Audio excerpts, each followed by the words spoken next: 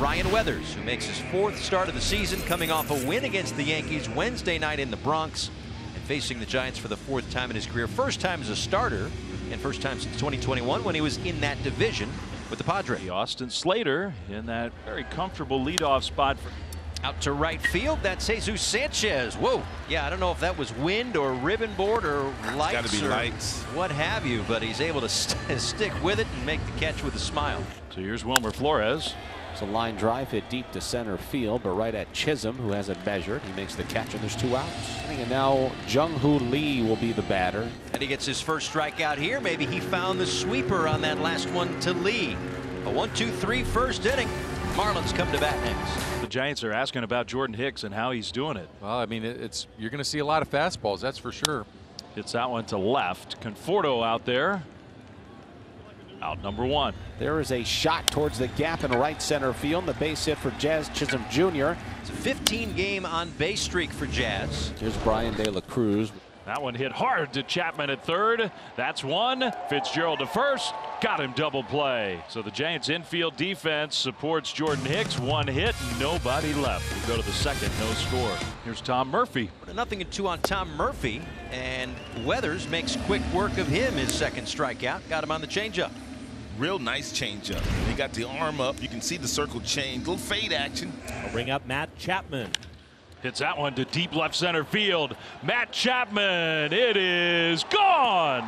Well up over the left center field wall. Man, did he smoke that one. His fourth home run of the year. It's one nothing Giants. Barrel right to that baseball and drives it out of here. 109 off the bat. Woo.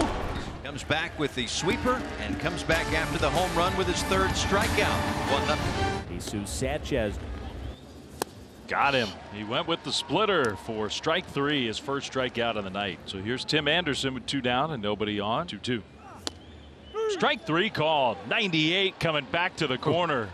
Jordan Hicks with a dominant second inning. Couple of strikeouts. Yeah, he's a little upset. This was after the first pitch to Nick Gordon. He thought that a pitch clock violation should have been called for ball one after that whole bullpen fiasco. But you can see here everybody's much more jovial right now. And then Skip and Laz laughing. And then Skip begins to explain why he was so upset last night. Nick Ahmed says there's a swing and a miss by Ahmed. He's down on strikes. That was a wicked changeup. Another strikeout, another changeup. And there are two away. Back to the top of the order now, and Austin Slater. Slater lines that one into right field. So that's a base hit for Austin. He loves to go the other way. Brings up Wilmer Flores. Wilmer out toward the gap in left center. That's going to get down, and it's going to go all the way to the wall.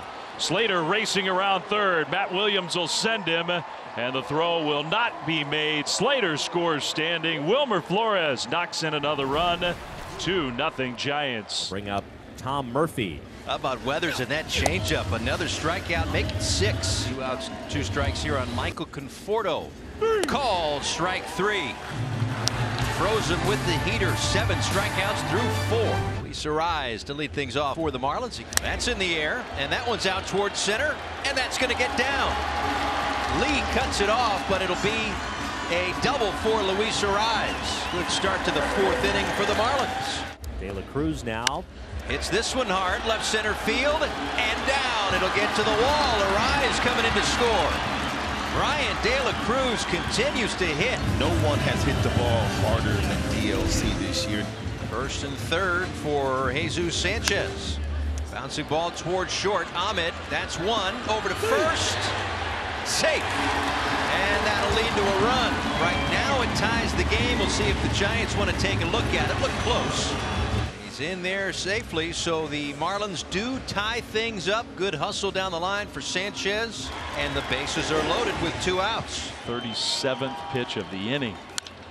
To right, Slater going back, squaring up, making the catch in front of the wall. And after all that, just a tie. We go to the fifth. It's two to two. See if Tyler decides to steal here. So he's now on at first with one out. There he goes. Strike three. Safe at second base. So Slater strikes out looking, but Fitzgerald enough speed and got a good enough jump to where he makes it in there safely. Jung Hoo Lee, last time up, lined a ball hard to right field. Popped it up. Lifted out towards center. Jazz camped underneath it. Makes the catch. And Weathers works out of trouble. Still 2-2. Jorge Soler is 0 for 2 tonight. 2-2. And he swings and misses strike three. Give him nine. Ryan Weathers with nine strikeouts. He established a new career high with eight in the fifth. Here comes the one-two pitch. Rocks and fires glove over his head. And a changeup is called strike three. Oh boy, did he ever get that call. Back-to-back days with double-digit strikeouts from a Marlins starter. Josh Bell. And that is a fair ball, able to keep it fair the other way and into the corner. Bell to second with a leadoff double here in the sixth. First and third to start the sixth inning. So here is Tim Anderson. The first pitch from the right-hander Walker is dribbled on the ground left side. It's going to score a run. Throw to second in time. Throw to first is not in time. It's a fielder's choice RBI for Tim Anderson. The Miami Marlins have their first lead of the night. Back-to-back walks and they're loaded for the top of the lineup.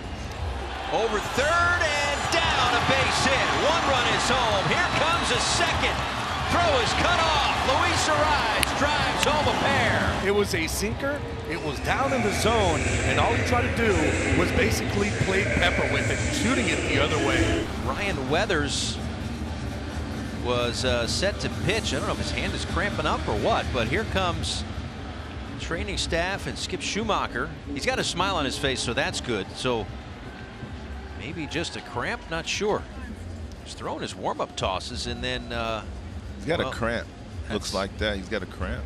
this was the last warm-up toss. Yeah, just uh, Can't get it out of there. Arraez was the first one to notice something was going on. He motioned for Skip, Skip Schumaker. I don't want to remind you, but I will. The Marlins have allowed more runs in the seventh inning and later than anybody in baseball. So. Burch Smith will come in. Second and third. Now LaMonte Wade Jr. is going to have to try to pick up the Giants. Wade line drive base hit left field. Conforto will score. Ahmed had to freeze to make sure it got through. So a run home. It's five to three. Still only one out. Big spot against Wilmer Flores. Marlins set up to try to turn two.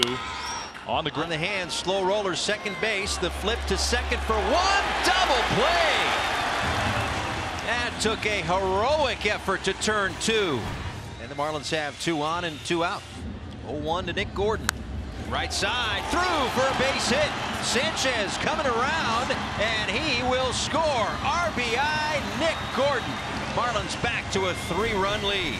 Tanner Scott on to pitch for the Marlins. Try to close this one out. 6-3 the lead. Back-to-back walks, and that will bring the tying run to the plate. Thairo's the tying run. He can hack right. Here comes the 0-2, and that is swung on and missed strike three. He went with a high heater. He changed the eye level, and he blew it by him upstairs. Better be very careful here with Wilmer Flores, who's great at hitting lefties. Popped up off of first. Arraez is there to make the catch. It's a Marlins win. Boy, did they need that. In the worst way. Team that had the fifth best home win percentage last year. Finally, now 2 and 10 here at home.